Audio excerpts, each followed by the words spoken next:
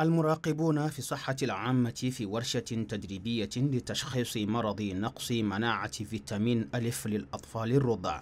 كما سيقومون بالبحث في عدد من المراكز الصحية والمستشفيات لرصد المعطيات المهمة من حيث نقص فيتامين ألف باعتباره كداء مزمن ومنتشر بين فئة الأطفال الرضع. وتأتي هذه الورشة تمهيدا لإطلاق الحملة الوطنية لتشخيص مرض نقص فيتامين ألف التي من المقرر إطلاقها في الثالث عشر من هذا الشهر. كما تسمح هذه الخطوة للحكومة عبر وزارة الصحة العامة والوقاية بالسيطرة على هذا المرض لتأمين نمو سليم للأطفال ومساعدتهم في مكافحة المرض.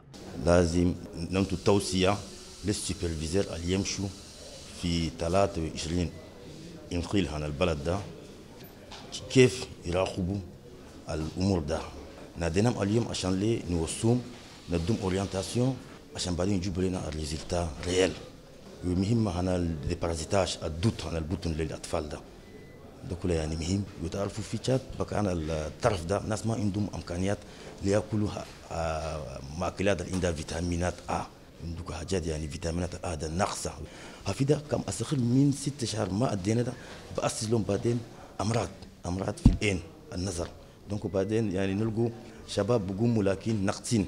واستخل كم دخل في نسق تغذية ده ما بنتي ما عنده فكرية ما بده يفكر إدارة التغذية والتكنولوجيا الغذائية عبر وزارة الصحة العامة والوقاية وبتمويل من الشركاء تعمل على تقليل هذا الداء.